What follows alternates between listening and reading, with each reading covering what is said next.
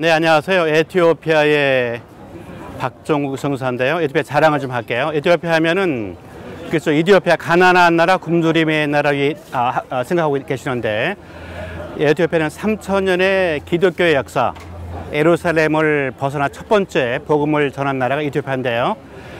어, 지금은 이슬람으로 약 55% 이상으로 변해서 어, 굉장히 성교주의 땅인데요. 아직도 기독교 역사가 있어서 3천년의 악숨 제국의 어, 시바 여왕이 살았던 궁전, 그 다음에 법궤, 그 다음에 어, 어, 랄리벨라 왕이 1년에 한 번씩 예루살렘 방문에는 더 이상 이슬람들이 가지 못하니까 제2의 예루살렘을 에티오피아의 랄리벨라 시에 세웠습니다.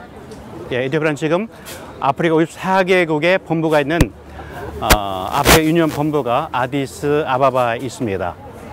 어, 예, 이디오피아는 어, 원시부터 어, 글로벌까지 어, 발전된 그런 나라로 어, 소개되고 있습니다.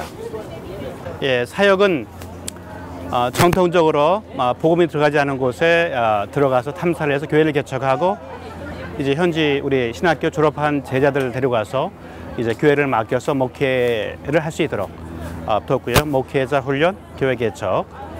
어, 그 다음에 어, 이디오피아는 저희 성교부에서 세운 어, 신학대학 4년제와 어, 대학원과 어, PhD까지 만들어진 어, 두 개의 에, 학교가 있어요.